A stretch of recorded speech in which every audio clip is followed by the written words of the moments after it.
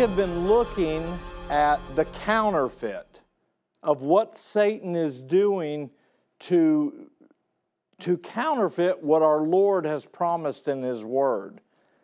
We've been looking at spiritual formation and its Eastern mystical roots, and we're seeing how the enemy is duplicating. He, he's lying and deceiving. And through these Eastern arts, he's infiltrating the Christian church. I want to open tonight with a promise in Romans chapter 8. Turn with me there, Romans chapter 8, verse 19. It says, For the earnest expectation of all creation is waiting for the manifestation of the sons and daughters of God. That's what the entire universe is waiting to see. And that's the one thing that Satan is seeking to counterfeit. Tonight, we are going to show what he is doing and how this is coming into our church. Mystery unveiled, the omega of a most startling nature. You remember that in the very beginning, I asked you to make note of that word nature. We know that there's two mysteries spoken of very um, prominently in Scripture. The first mystery that we see is in 1 Thessalonians or 2 Thessalonians chapter 2. It says, The mystery of iniquity doth already work. But in Timothy, Paul tells Timothy the mystery of godliness is God manifest in the flesh. So, what we have seen over the last few messages is that the mystery of iniquity is the exact opposite of the mystery of godliness. Instead of it being God manifest in the flesh, it is evil spirits and demonic forces that are manifesting in human flesh. I'm going to open with a statement from the Lord's servant. Eight Testimonies, page 28. The world is a theater. The actors, its inhabitants, are preparing to act their part in the last great drama transgression has almost reached its limit. Confusion fills the world, and a great terror is soon to come upon human beings. The end is very near. And we who know the truth should be preparing for what is soon to break upon the world as an overwhelming surprise. We who know the truth, we have looked at that and we've seen that the word truth literally means in the Greek the unfailing verity of God's word.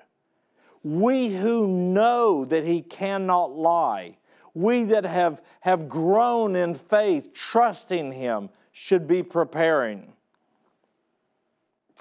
Matthew chapter 24 tells us, and this is a common text, this is a common chapter most of us know this.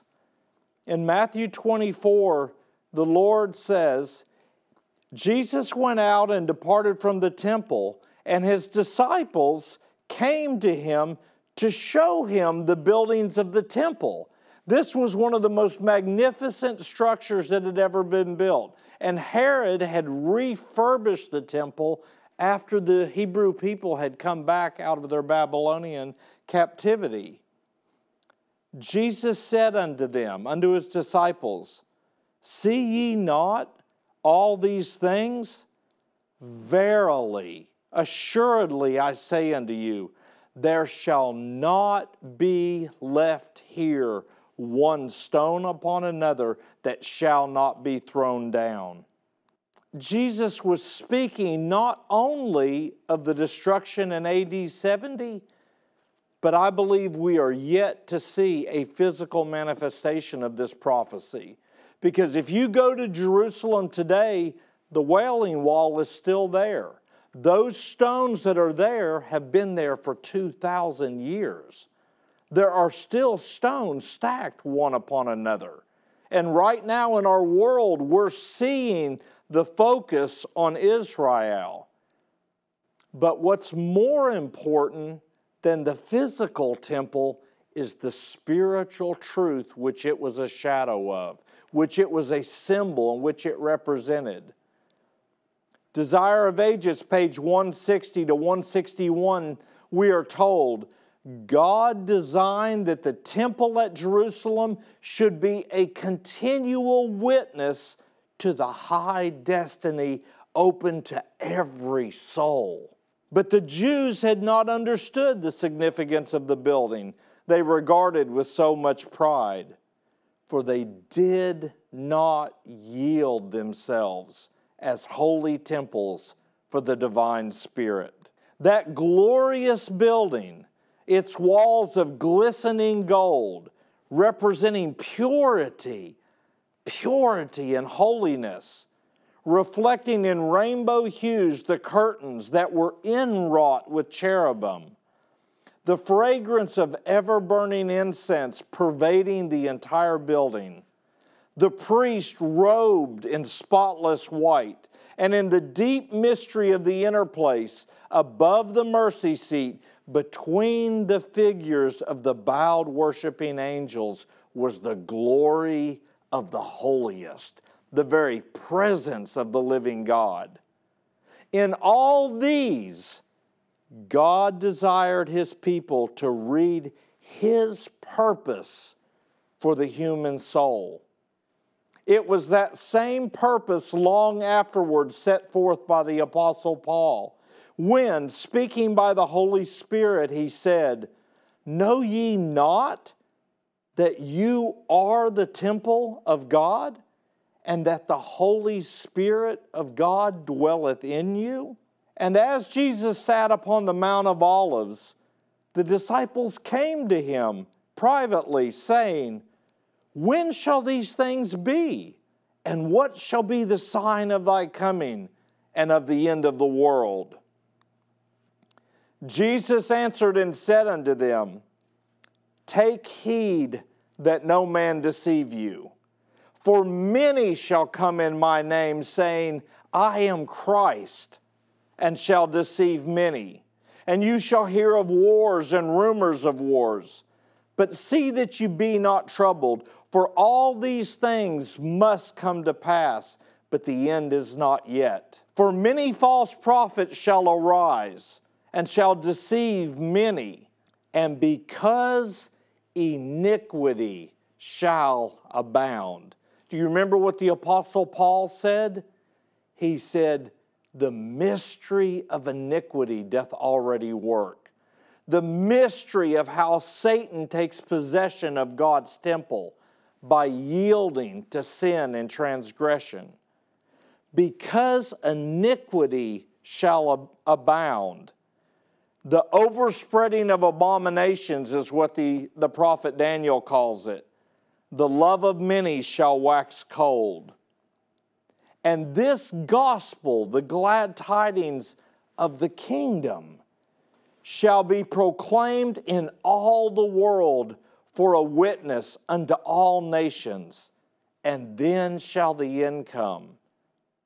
You know, growing up as a Christian, I thought the kingdom is Christ's second coming. And I, I didn't realize there is a deeper meaning. When you look up the word kingdom in the Greek, it literally means the sovereign, the king, and the reign of God. He said, This glad tidings of the reign of God shall be proclaimed in all the world as a witness, and then shall the end come. Galatians chapter 3, verse 8 and 9, listen to what the Apostle Paul tells us. And the scripture, foreseeing that God would justify the heathen through faith, proclaimed before these glad tidings even unto Abraham, saying, In thee, and later on, in thy seed, shall all nations of the earth be blessed. And we looked at this the other night. The word justify literally means to declare and to render just and innocent and clean and pure and holy and righteous and perfect. The scripture foreseeing that God would justify the heathen through faith.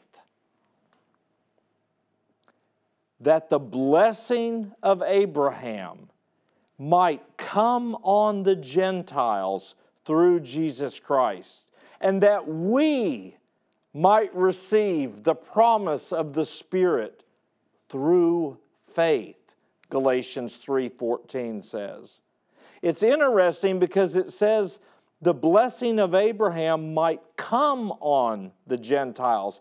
The word come on means to generate or to bring into being. Jesus went on and said, When ye therefore shall see the abomination which causes desolation, spoken of by Daniel the prophet, stand in the holy place. Whoso readeth, let him understand. When you look this verse up, it says, This abomination that causes God's temple to be desolate will stand in the holy place. And the word stand in, in Greek means to abide, to literally to covenant and abide. Then let them which be in Judea flee into the mountains. For then shall be great tribulation, such as was not since the world began, no, nor ever shall be. This was the focus of Christ's message in Matthew 24 and in Luke 21 and in Mark 13 the abomination that causes desolation. When the children of Israel had went back and rebuilt the temple after the Babylonian captivity. We talked about the other night that when they built that temple, the Ark of the Covenant had been secreted away, God's servant says. And Josephus also talks about that. They indicate that it was probably the prophet Jeremiah that instructed the priest to hide that Ark of the Covenant. That ark was the throne of God. Without the throne, the king cannot reign. And now Christ tells us when you see the abomination that causes my temple, my sanctuary, to be desolate, you know it's time to flee. And God's word says that the temple that was desolate was not just the physical temple, it was men's hearts. The prophet Daniel tells us in Daniel 9 Now therefore, O our God, hear the prayer of thy servant and my supplications.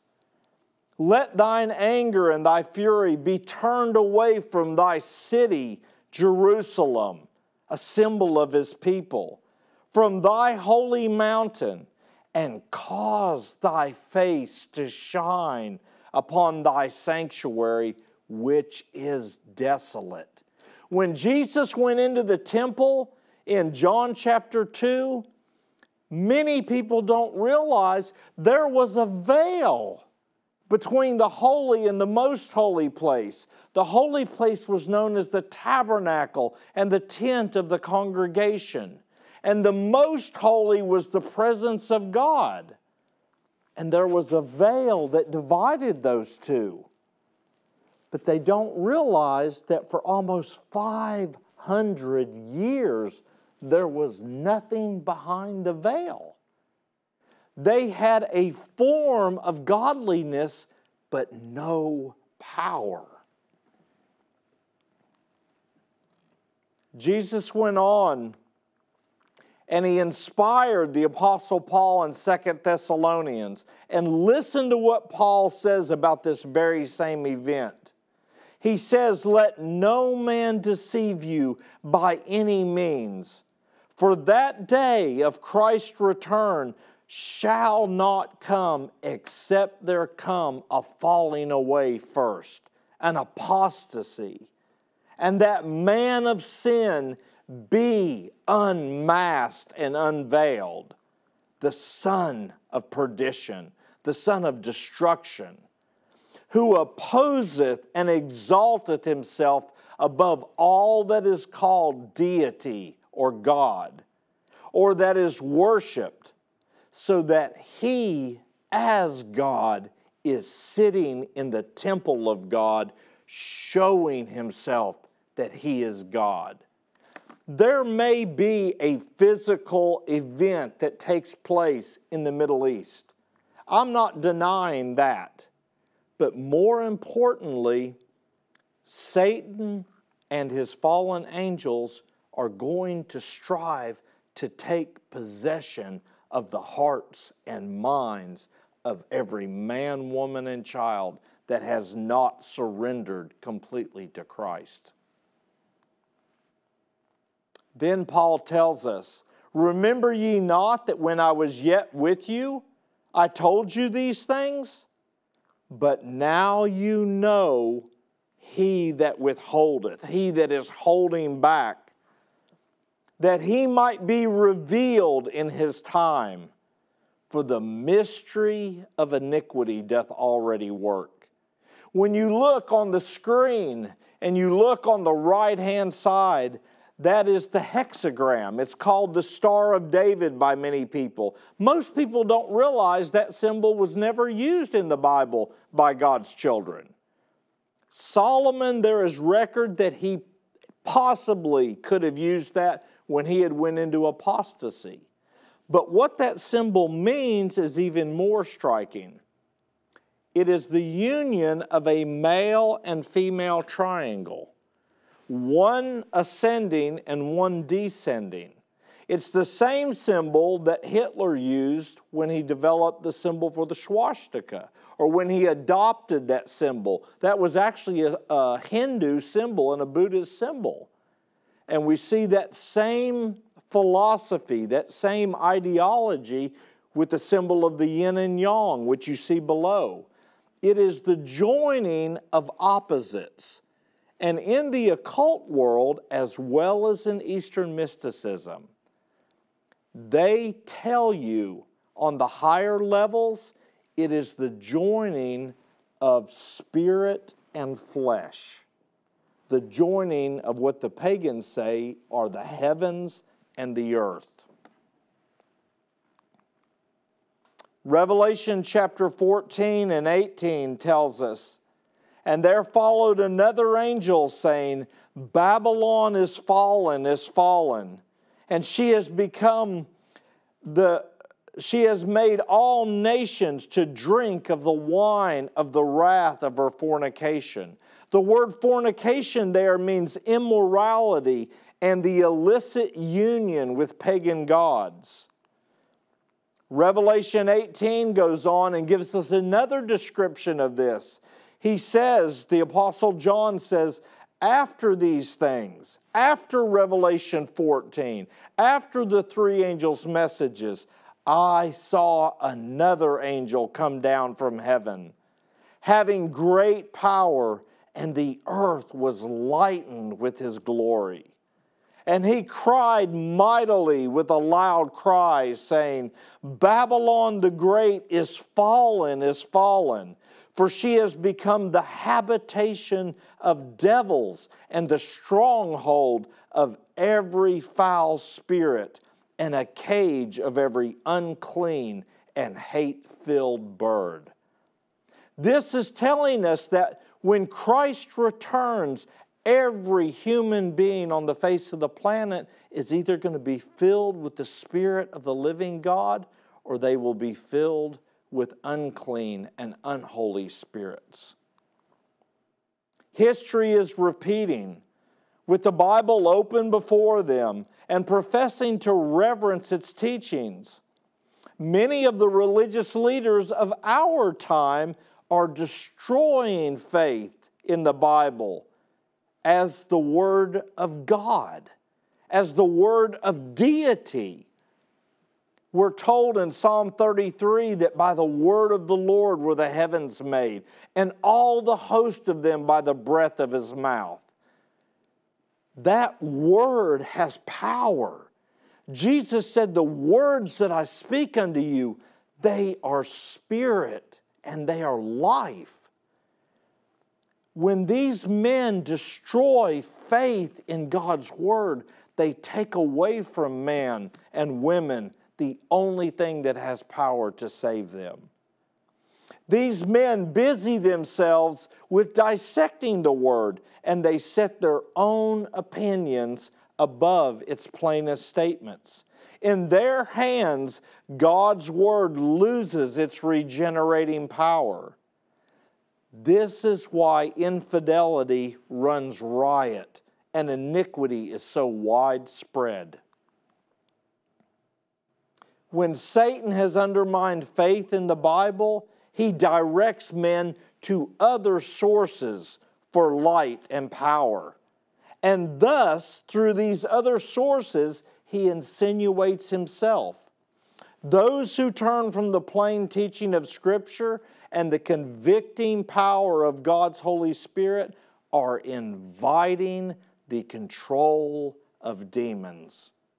Criticism and speculation concerning the Scriptures have opened the way for Spiritism and theosophy, those modernized forms of ancient heathenism, to gain a foothold even in the professed churches of our Lord Jesus Christ.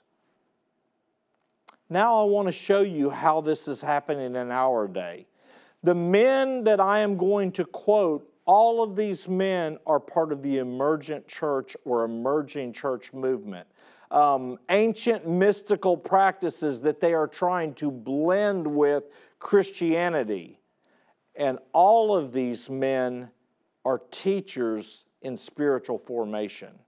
They are using what we have been learning to influence the congregations and millions across this world. This is a statement from Professor Marcus Borg. He was professor at religion and culture at the Oregon State University. Listen to what he says Enlightenment as an archetypal, and I may not be pronouncing that correctly, forgive me, as an archetypal religious metaphor belongs to a mystical way of being religious. Outside of the Jewish and Christian traditions, the best known Enlightenment experience is the Buddha's mystical experience. He's a professor of religion and culture, and he's saying we need to look to the Buddha to understand enlightenment. And then he says, so it is in the Gospel of John. Enlightenment is a central metaphor for salvation, and this is not true he says to be enlightened is to be born from above and of the Spirit. In other words, to be born again. Thus, the born again experience, according to Professor Borg, in John is an enlightenment experience. Now, we need to look and see what this enlightenment is.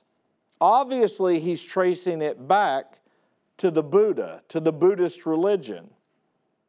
Shane Claiborne, another Christian author and Christian activist, says If you tell me I have to be born again in order to enter the kingdom of God, I can tell you that you also have to sell everything you have and give it to the poor. Because Jesus said that to one guy also. If Jesus said it, can we not take his word literally? Listen to what he says.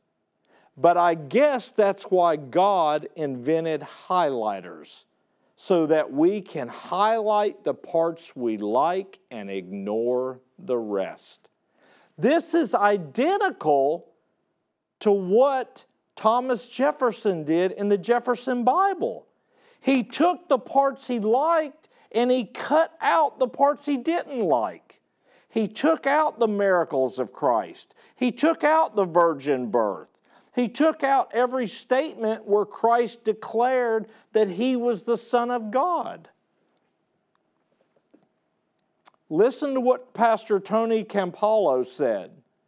He said, I learned about this way of having a born again experience from reading the Catholic mystics, especially the spiritual exercises of Ignatius Loyola. Ignatius Loyola was the founder of the Jesuit movement. He was heavily involved in Eastern mysticism.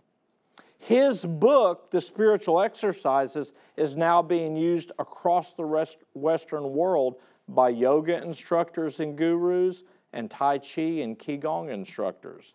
They have found that by using what Ignatius taught, they can enhance the practice of their Eastern uh, arts. Like most Catholic mystics, he developed an intense desire to experience a oneness with God. Gradually, he came to feel an intense yearning for the kind of spiritual purity that he believed would enable him to experience the fullness of God's presence within. Another leader, Brian McLaren, he said from this is from his new book, A New Kind of Christianity. When Jesus promises life of the ages, a far better translation of the Greek, I believe, than eternal life, he is not promising life after death or life in eternal heaven instead of eternal hell. Being born of God and born again, or being born from above, would in this light mean being born into this new creation. So again, Jesus is offering a life in the new Genesis, a new creation that is of the ages. What he just did was he twisted the Word of God, he made it so complicated. Jesus said, I have given unto you eternal life. Our Father said, I have given unto you eternal life, and this life is in my Son. It means literally, you will live forever. What Brian McLaren just said was almost the exact same thing that Pastor Rick Warren is teaching in the Purpose Driven Life. Don't worry about heaven and hell, it's about here and now. Ministry of Healing, page 429, we are told these theories that God resides in all matter or pantheism, if they are followed to their logical conclusion, they sweep away the entire Christian economy, the plan of salvation. They do away with the necessity for the atonement, the at one of man with God and they make man his own Savior. These theories regarding God make His Word of none effect, and those who accept them are in great danger of being finally led to look upon the whole Bible as a fiction. They may regard virtue as being better than vice but God being removed from his position of sovereignty, the throne of our heart, they place their dependence upon human power alone, which without God is worthless. Now I want to show you something a little more up to date.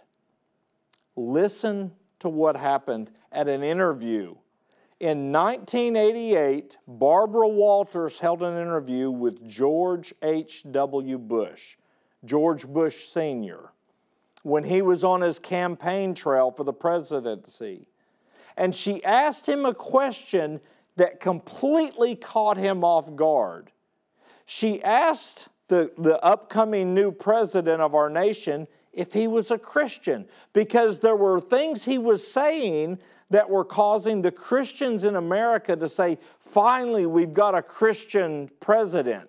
This is a good thing. And she wanted to make this clear in her interview. When she asked if he was a Christian, listen to what George Bush Sr. said. He stumbled over his words. He looked down for a moment and then he answered. If by being a Christian you ask if I'm born again, then yes, I am a Christian. What many don't realize is that George Bush Sr., George Bush Jr., and Prescott Bush, the grandfather, were all members of an occult society at Yale University. That society was called the Skull and Bones. And in their initiation, they went through a ritual that once it was achieved, you were now classified as a man that had been twice born. Manly P. Hall, one of the, the greatest philosophers of Freemasonry that they've ever had, listen to what he says. Among the ancients, a fabulous bird called the phoenix is described by early writers. In size and shape, it resembles the eagle, but with certain differences. The phoenix, it is said, lives for 500 years, and at its death, its body opens, and there's this flame of fire, and out of the ashes emerges a new phoenix. Because of this symbolism, the phoenix is generally regarded as representing immortality and resurrection. In the Chinese arts, and that's where they got it from, you usually see two symbols that are held higher than all others the dragon and the phoenix. And often you will see the two intertwined. It means the dragon is the symbol of occult wisdom, and the phoenix is the symbol of rebirth. So, through occult wisdom and initiation, they believe that a man can be reborn. Manly P. Hall went on to say the phoenix is one sign of the secret orders of the ancient world and of the initiate of those orders. For it was common to refer to one who had been accepted into the temples as a man twice born or reborn. Wisdom confers a new life, and those who become wise are said to be born again. Do you know this is the same thing that Satan said to Eve? It's a tree that will make you wise. And the Apostle James says, This wisdom descendeth not from above, but from beneath. General Albert Pike, he was a Confederate Civil War general. He wrote the Bible for Freemasonry called Morals and Dogma. Listen to what he says in that book. Initiation was considered to be a mystical death, and the perfect initiate in the Eleusinian mysteries was then said to be regenerated, newborn, and restored to a renovated existence of life, light, and purity. The Bible says, professing themselves to be wise, they become dumb. In the ancient system of initiation, the truth seeker must pass through a second birth. And those who attained this exalted state were known thereafter as twice born. This new birth must be personally earned through a complete regeneration of character and conduct. Now, I want you to pay attention to his words. This new birth must be personally earned. You earn wages. God's word tells us that the new birth is a gift from God. You cannot do anything to earn perfection and righteousness. This new birth, he says, the ceremony involves a symbolic death, according to Kenneth McKenzie, who is another Masonic author. He writes in the ancient mysteries, the aspirant could not participate in the highest secrets until they had been placed in a coffin. In this ceremony, he was then symbolically said to die, and his resurrection was to the light. Albert Pike goes on and says, The day has come when fellow craftsmen must know and apply their knowledge. The lost key to their grade is the mastery of emotion.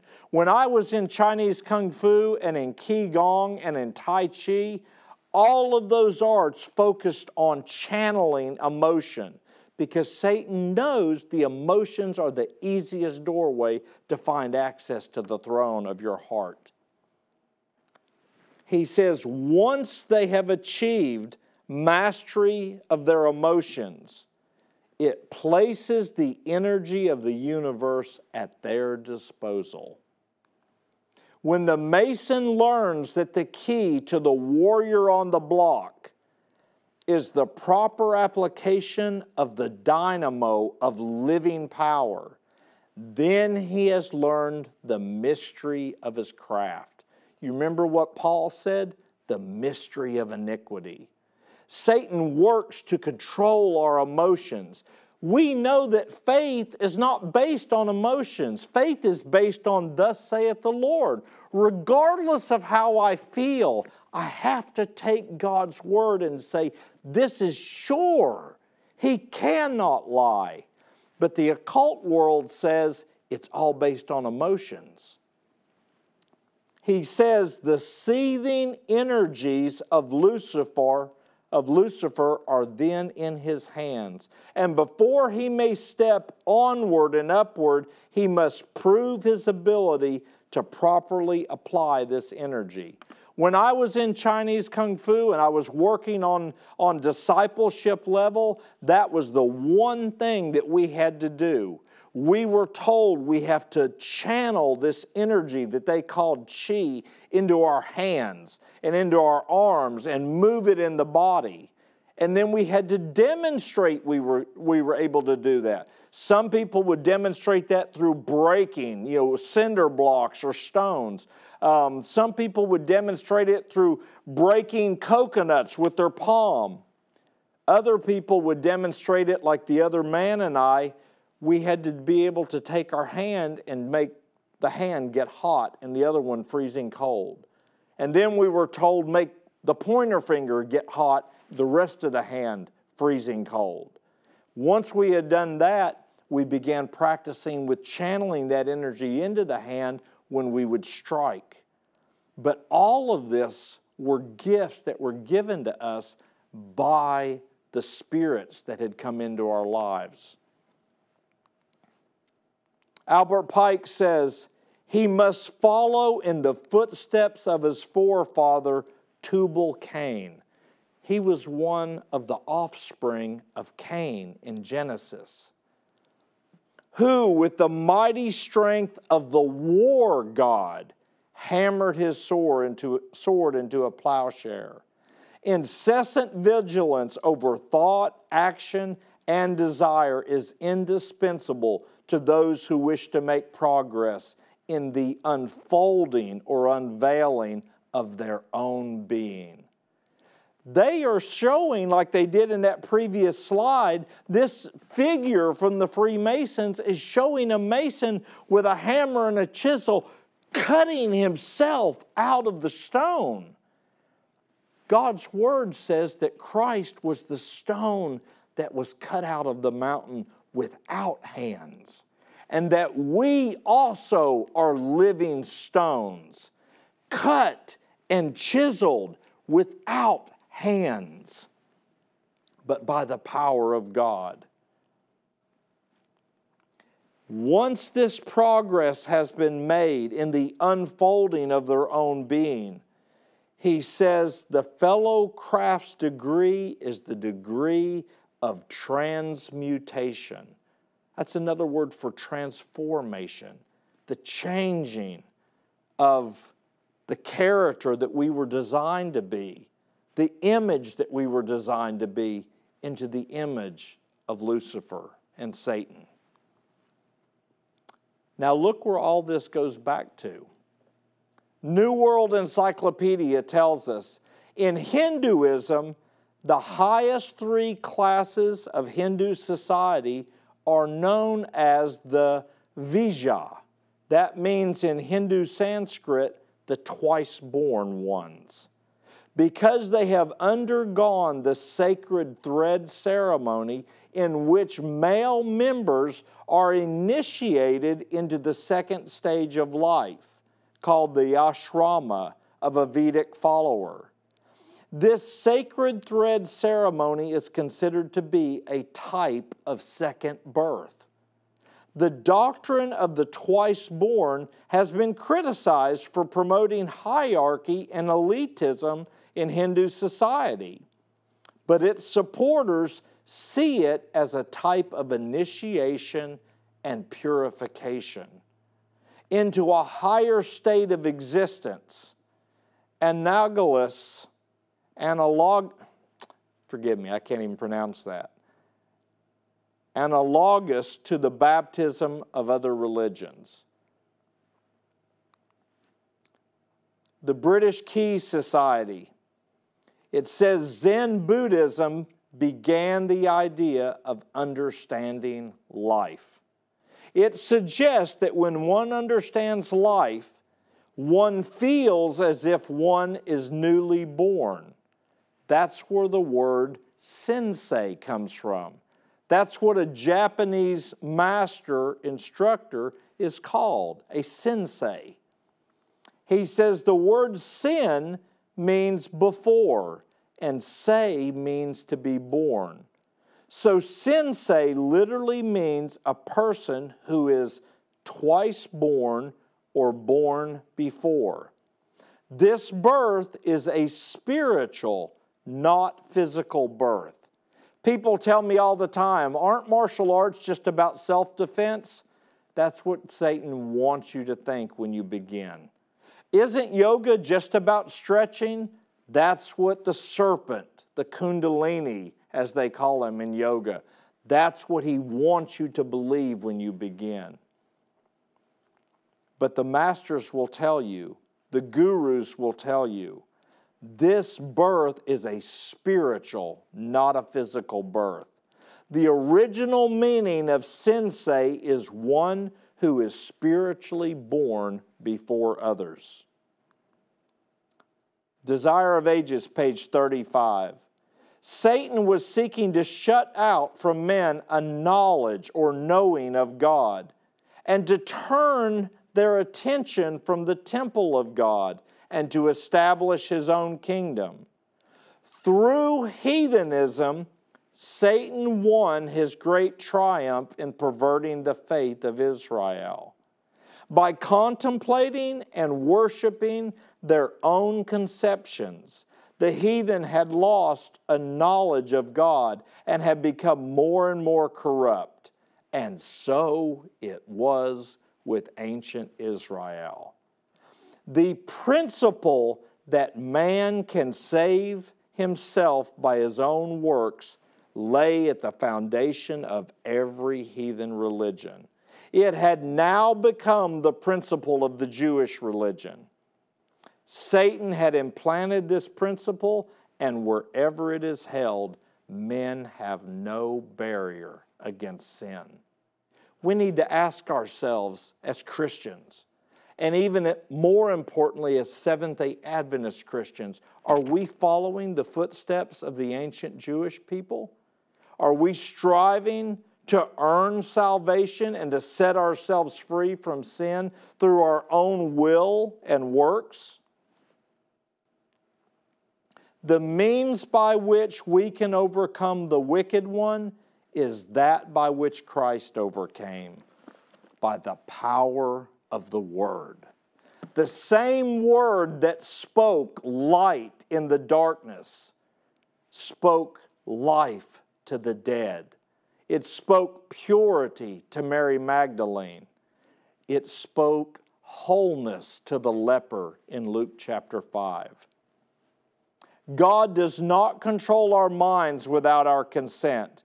But if we desire to know and to do His will, He has promised we shall know the truth, and the truth shall make us free.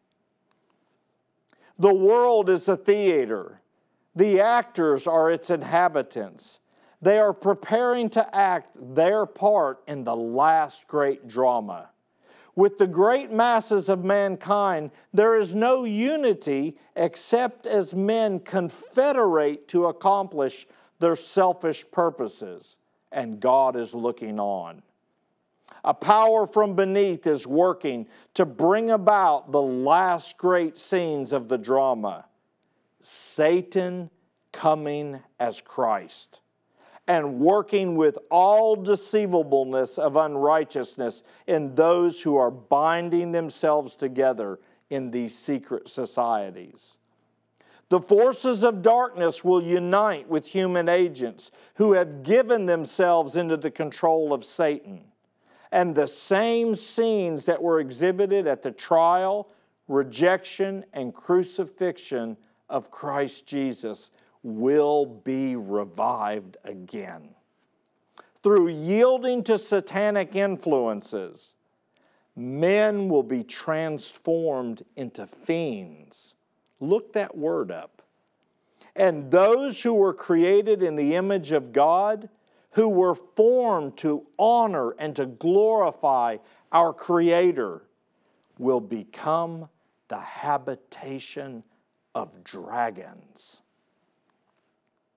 and Satan will see in an apostate race his masterpiece of evil men who reflect his own image. Transgression has almost reached its limit. Confusion fills the world, and a great terror is soon to come upon human beings. The end is very near. And we who know the truth should be preparing for what is soon to break upon this world as an overwhelming surprise. Jesus told us when Satan appears, don't even go and look. Don't cut your television on to see because it will be an overmastering delusion. And I saw another angel fly in the midst of heaven, having the everlasting gospel and glad tidings to proclaim to them that dwell on the earth, to every nation and kindred and tongue and people. And listen to what he says. With a loud voice, he cries and says, Fear God and give the glory to him for the hour of his judgment is come, and worship him that made heaven and earth and sea and the fountains of water. This is the Sabbath. It is a sign that we have faith that the same word that brought the worlds and the universe into existence is able to recreate you and I in the image of our Savior. Let everyone who claims to believe that the Lord is soon coming search the scriptures as never before. For Satan is determined to try every device possible to keep souls in darkness and blind their minds to the perils of the times in which we are now living. Let every believer take up his Bible with earnest prayer that he may be enlightened by the Holy Spirit as to what is truth. What is the unfailing verity of God's Word? That he may know more of God and of Jesus Christ, whom he has sent. search for the truth as for hidden treasures, and disappoint our enemy. The time of test is just upon us. She says, For the loud cry of the third angel has already begun to sound in the revelation and revealing of the righteousness of Christ as our sin pardoning Redeemer. This is the beginning of the light of the angel whose glory will fill the whole earth. If you would stand through the time of trouble, the Lord's servant tells us, you must know Christ, for this is life eternal, and appropriate as your own the gift of his righteousness, which he imputes to the repentant sinner. First Selected Messages, page 363. The message of Christ's righteousness is to sound from one end of the earth to the other, to prepare the way for our King. This is the glory of God which closes the work of the third angel. Then she says in Testimonies to Ministers, page 456, What is justification by faith? It is the work of God in laying the glory of man in the dust and doing for you and I that which it is not in our power to do for ourselves. Luke 17, listen to what our Savior says. And when Jesus was demanded by the Pharisees when the kingdom of God should come, he answered and said unto them, The kingdom of God the reign and the sovereign of God cometh not with observation. Neither shall they say, Lo here, or Lo there. For behold, the kingdom, the reign of God is within you. Nicodemus came to Jesus and he asked the same question. And Jesus answered and said unto him, except a man be born again, begotten again, he cannot see the kingdom of God. And Nicodemus asked, How can these things be? Jesus answered, That which is born of the flesh is just flesh, but that which is born by the Spirit of God is spirit. Marvel not that I say unto you, you must be born again. Now I want to look in our last moments, I want us to see how this happens. Galatians chapter 3, verse 1 through 3, the Apostle Paul tells us, O foolish Galatians, who hath bewitched you that you should not obey the truth. And you look up the word obey, and it means have confidence in and believe. Who has bewitched you that you do not believe the word of God?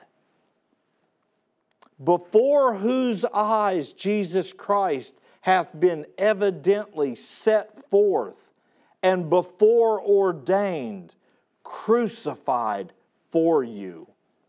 Are you so foolish? having begun by the Spirit, are you now made perfect by the flesh? Do you remember how Isaac was born? God came to Abraham and Sarah and he said, Ishmael, who you had by the power of the flesh, he's not even counted as seed. Of your own flesh, you're going to bear a son. God promised Abraham and Sarah would have that son. And Galatians 4 says that's why Isaac was born by the Spirit. For as many as received him, John says, to them gave he power to become, to be brought into being as the sons and daughters of God, even to them that believe on his name, John 1, verse 12 and 13. Which are born or begotten not by blood, nor by the will of the flesh, nor by the will of man, but of God. For of his own will begat he us with the word of truth, so that we should be a kind of first fruits of his creatures, his creation. James 1, verse 18 through 21 tells us. And then Galatians says, Now we, brethren, Galatians 4 28 and 29. Now we, brethren, as Isaac was, are children of God by promise. But just as it was then, he that was born by the flesh persecuted him that was born by the Spirit. Even so it is now. Do you remember what happened in 1888? The majority of God's leaders and the majority of our church rejected the message that Christ had given through Jones and Waggoner. They said, We're doing this fine on our own. They repeated what the children of Israel had said at Mount Sinai. The Lord came down and spoke His commandments, His laws of life. And they said, Everything you've said, we will do. Ellen White says, Every command is a promise. And God says, All that I have spoken, I will do. For it is I that work in you both to will and to do that which pleases me.